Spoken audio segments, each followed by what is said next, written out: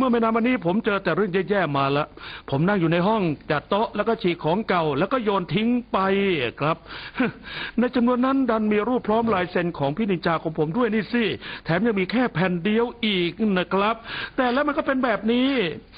ผมรู้อยู่แล้วล่ะครับ ผมรู้ดีว่าเขาต้องโกรธแน่นอน เวลานินจาโกรธไม่ใช่เรื่องดีแน่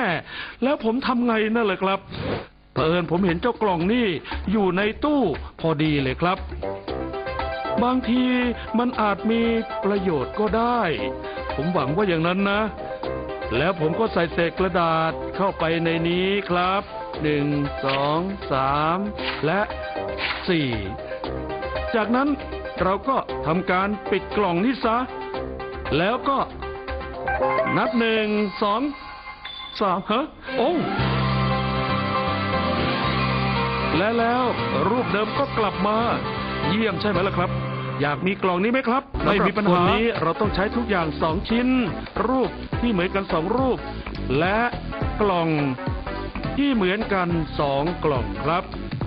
ยิ่งถ้าเป็นกล่องคอนเฟลกก็จะเหมาะมาก ในขั้นตอนแรก เอากล่องแรกมาตัดตรงด้านหน้าออก แล้วจากนั้นก็ตัดฝาด้านบนออกไป นี่แบบนี้นะครับ ตัดฝาด้านนี้ออกไป แล้วก็ทากาวเยอะๆที่ฝาอีกด้านหนึ่งนะครับ แล้วก็เอาชั้นลับนี้สอดเข้าไปในกล่องที่สองแล้วก็กดลงไปแรงๆให้กาวติดสนิทอืม ตรงนี้มีเคล็ดลับอีกอย่าง ให้ตัดฝากล่องที่ซ้อนอยู่ด้านนอกออกไป แล้ว ฝาที่อยู่ข้างใน ก็จะมาแทนด้านนอกแบบนี้นะครับนำเทปกาวมาติดทับ ตรงขอบที่เราตัดเอาไว้ จะได้มองไม่เห็นรอยต่อ เกือบเสร็จแล้วครับ ทีนี้ก็ลองมองลอดผ่านเข้าไปในกล่อง จะเห็นว่าในกล่องดูเหมือนไม่มีอะไร แม้ว่าตรงนี้ยังมีชั้นลับซ่อนเอาไว้อยู่ เวลาแสดงจริงก็ให้ใส่รูปของเราเข้าไปใน ชั้นลับอย่างนี้นะครับ เห็นไหมครับ กล่องยังคงว่างเปล่า ปิดฝาด้านล่าง แล้วก็นำรูปอีกใบมา